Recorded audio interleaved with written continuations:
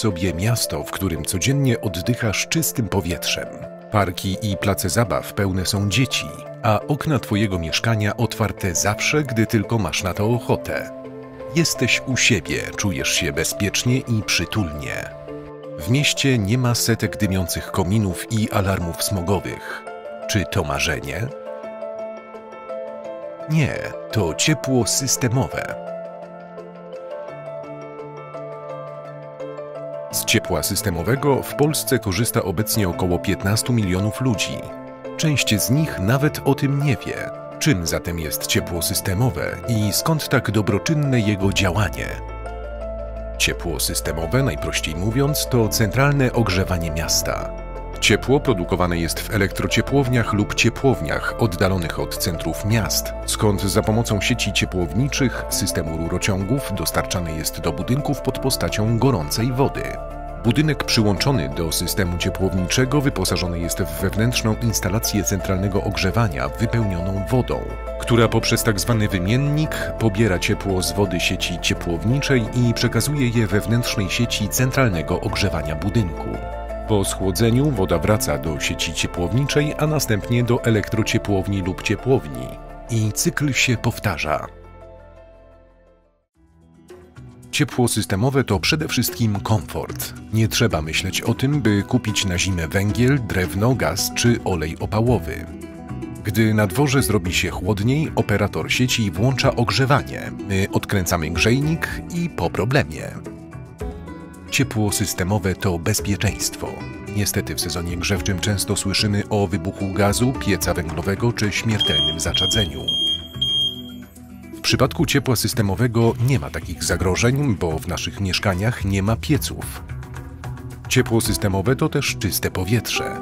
Nie ma kominów, z których wydobywają się szkodliwe substancje, mające wpływ na nasze zdrowie i samopoczucie. Firmy produkujące ciepło muszą przestrzegać surowych norm ochrony środowiska. W swoich instalacjach stosują różnego rodzaju filtry i urządzenia wychwytujące ze spalin szkodliwe dla naszego zdrowia substancje. Największym odbiorcą ciepła systemowego na terenie Wielkopolski Wschodniej jest Konińska Spółdzielnia Mieszkaniowa, administrująca prawie 170 wielorodzinnymi budynkami mieszkalnymi, dziewięcioma obiektami handlowo-usługowymi oraz trzema obiektami administracyjnymi. Dziś trudno wyobrazić sobie Konin bez ciepła systemowego. Ale proszę mi uwierzyć, że jeszcze w latach 60. XX wieku z otaczających nas budynków wydobywał się dym z ich kominów, z piecy, które e, znajdowały się w mieszkaniach, gdzie spalano węgiel. Mieliśmy tutaj sporo tego dymu. Ja tego nie pamiętam, natomiast myślę, że wielu koninian to pamięta i teraz trudno sobie wyobrazić, żeby to do nas wróciło. Jeżeli mówimy o cieple systemowym w Koninie, to trzeba też dodać, że jest to ciepło ekologiczne, wytwarzane z odnawialnych źródeł energii. Budowa sieci ciepłowniczej wymaga sporych nakładów i jest opłacalna na terenie stosunkowo gęsto zabudowanym. Najczęściej obejmuje centra miast, osiedla budynków wielorodzinnych i coraz częściej osiedla domków jednorodzinnych. W Koninie takim przykładem jest osiedle domów jednorodzinnych Glinka, na którym jest ponad 100 domów. W jednym z nich mieszka i ma swoją pracownię Krystyna Rulinkiewicz. Ja się bardzo cieszę, że mieszkam w takim domu i na takim osiedlu, że mam możliwość korzystania y, z ciepła systemowego, czyli z lokalnego cieplika. Dla mnie to nie jest obojętne, y, ponieważ y, pracownia no w domu wiadomo, musi być ciepło, ale w pracowni równie dobrze dla moich kochanych obrazów ta stała temperatura jest bardzo ważna. No i już pomijając fakt, że ja tutaj też y, pracuję niekiedy w nocy, więc dla mnie to jest też bardzo ważne, że ja sobie schodzę, mam tutaj ciepełko i w sumie przeszłam tyle już różnych y, form ogrzewania, bo tyle razy się przeprowadzałam, że w tej chwili mogę powiedzieć, że mam naprawdę to ciepło optymalne i całą dobę jednakowo, co jest chyba najważniejsze w tym wszystkim. Według Europejskiej Agencji Środowiska Polska należy do państw o znacznym zanieczyszczeniu powietrza. Z tego powodu choruje i przedwcześnie umiera 40 tysięcy Polaków. To ponad 10 razy więcej niż ginie w wypadkach drogowych. Największy udział w zanieczyszczeniach powietrza ma tzw. Tak niska emisja. To ta z przydomowych pieców węglowych. Specjaliści od ochrony powietrza wyliczyli, że ciepło systemowe dostarczane przez certyfikowanych dostawców to ponad 200 razy mniej substancji rakotwórczej w postaci benzopirenu, 49 razy mniej pyłów zawieszonych powodujących choroby płuc. To także znacznie mniej tlenku i dwutlenku węgla w porównaniu do indywidualnego ogrzewania piecem węglowym. Wielkopolsce Wschodniej, obejmującej cztery powiaty koniński, słupecki, kolski i turecki, jest 15 miast. Ciepło systemowe istnieje w czterech: Koninie, Słupcy, Kole i Turku. W Koninie korzysta z niego 80% mieszkańców. W Słupcy ponad 50%. Tyle samo w Kole. Natomiast w Turku prawie 90%. W miarę możliwości finansowych samorządów i podmiotów dostarczających ciepło, sieć ciepłownicza jest systematycznie modernizowana. W Koninie na ten cel w ostatnich pięciu latach wydano ponad 50 milionów złotych, z czego prawie 12 to różnego rodzaju dotacje i dofinansowania. Ważnym elementem właściwego gospodarowania ciepłem, nie tylko systemowym, jest jego umiejętne zużywanie. Dobrze docieplone ściany, szczelne okna czy dobrze ocieplone stropy budynków to podstawa zmniejszenia jego zużycia.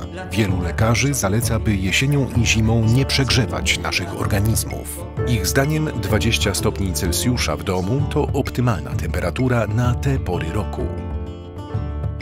Ważnym elementem właściwego podejścia do ciepła jest szeroko pojęta edukacja ekologiczna. W ramach ciepła systemowego prowadzone są lekcje ciepła. To ogólnopolski projekt edukacyjno-ekologiczny, realizowany od 2013 roku przez dostawców ciepła systemowego.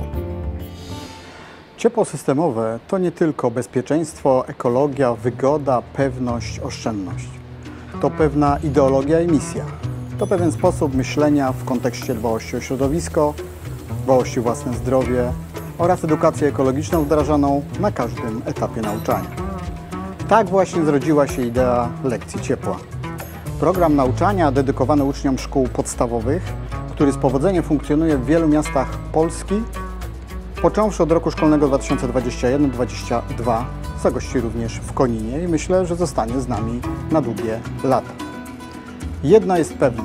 W kontekście wyzwań Fit for 55, czyli ograniczenia emisji gazów cieplarnianych, o cieple systemowym będzie głośno przez kolejnych kilkanaście lat. W 1994 roku powstała w Polsce Izba Gospodarcza Ciepłownictwo Polskie. Jej celem jest promowanie ciepła systemowego jako najlepszej formy ogrzewania. Od kilku lat działa strona internetowa ciepłosystemowe.pl. Można tam zapoznać się z zaletami tego typu ogrzewania, wskazówkami jak postępować, by nie marnować ciepła, a tym samym ograniczyć zużycie surowców do jego wytwarzania. Ciepło systemowe jest najlepszym e, sposobem ogrzewania naszych mieszkań. Dlaczego? Już ponad 400 miast w Polsce korzysta z ciepła systemowego. Jest to najbardziej ekologiczny sposób dostawy ciepła, ponieważ likwiduje tak zwaną niską emisję, wysoką emisję. Jest to jeden z najbardziej bezpiecznych sposobów dostawy ciepła i posiada również konkurencyjną cenę. Ciepło systemowe ma przed sobą wielką przyszłość. Szczególnie teraz, kiedy jest bardzo wiele wymogów związanych z ochroną klimatu, jest ono coraz bardziej zielone i przez następne 10 lat ciepło systemowe spełni wszystkie, nawet najbardziej ostre standardy związane z ochroną klimatu i powietrza, tego powietrza, którym oddychamy w naszych miastach. Właściwe gospodarowanie ciepłem to korzyść nie tylko dla naszego portfela, ale całej planety, która od dawna zmaga się z problemem emisji gazów cieplarnianych i globalnym ociepleniem. Ciepło systemowe jest dobre nie tylko dla nas, ale i całej naszej planety.